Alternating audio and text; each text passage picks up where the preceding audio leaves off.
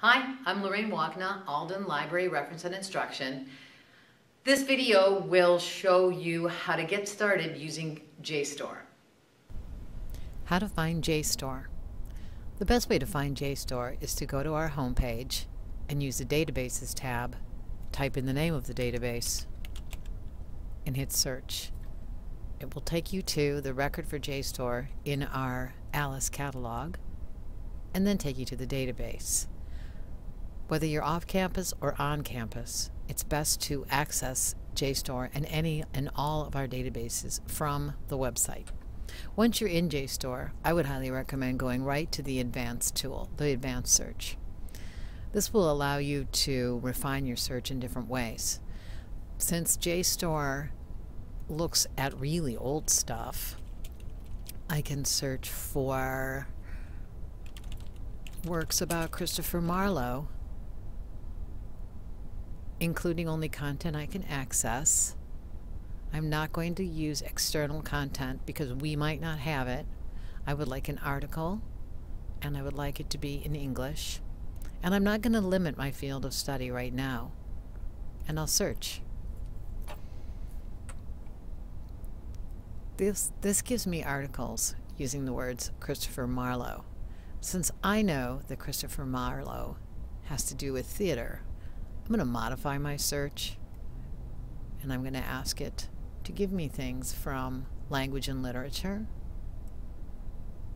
and from performing arts. And then I can redo my search now that it's more focused on the subject areas I'm looking for.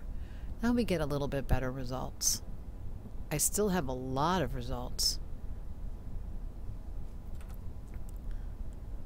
If I want to narrow them further, I of course can go back into my modify search. I can add that I want to see what's been written about Faustus and I can search again. And I get even less articles. I can look at them by relevance, from newest to oldest, or from oldest to newest.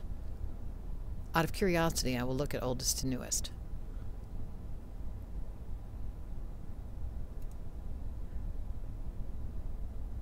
Wow, we have something from PMLA from 1890. We have an article from the Sewanee Review from 1894. So JSTOR digitizes core journals in every field from the very first issue of the journal up to and including three to five years ago. If you're interested in one of these, you can open the record get a page by page view, or view the entire PDF. You just have to accept the terms and conditions. You can email yourself the citation, save the citation,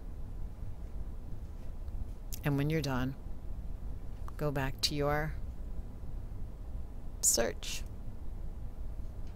If you have more questions about JSTOR, feel free to ask us.